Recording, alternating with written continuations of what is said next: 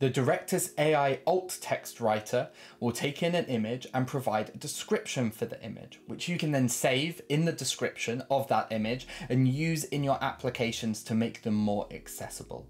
So we're gonna set it up today so automatically whenever a new file is uploaded, um, it will go off and have its description automatically provided. So what we're gonna do here is set up a new flow. We'll call this alt text writer and we'll make this an event-based hook whenever a file is uploaded. Now, just a note that here, this will trigger on every single file, regardless of file type. Um, I'm gonna leave it like this, but in the real, you would probably want to add a condition that says, hey, make sure this is an image, or, you know, make sure this is in a certain directory. The docs on how to do that are inside of the marketplace listing for this extension. But we won't do that, so you know we'll assume every file that's uploaded is going to be an image. So we're going to jump straight in and we are going to use the AI alt text writer. And this operation uses Clarifai.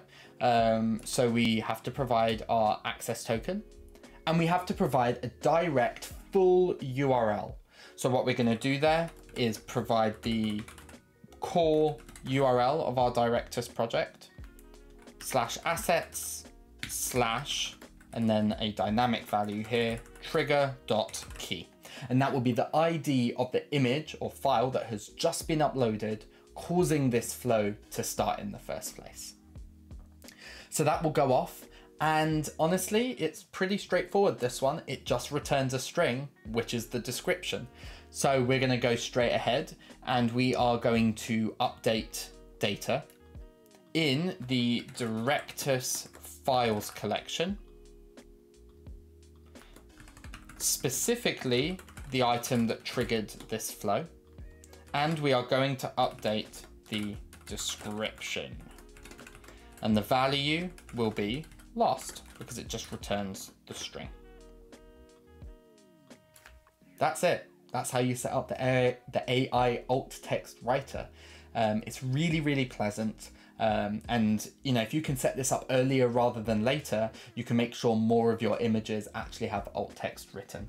Let's uh, let's try it out here. So I've got this photo from a holiday uh, I did a few months ago with my friend Nathaniel, and we click into that, and you know what? Not bad a photograph of two men sitting on a bench in front of a sign that says Avenue Av Av. Again, do double check these. You know, there is a point where they can, you know, where enough uh, error proneness uh, can actually cause a degraded experience for people who need this, um, but it will get you a really long way there. Uh, of course, it was never going to get that this said Avengers Campus, so I think I'll forgive it this time. So that is how to set up the AI alt text writer operation. Hope you found this interesting and I'll see you in the next video.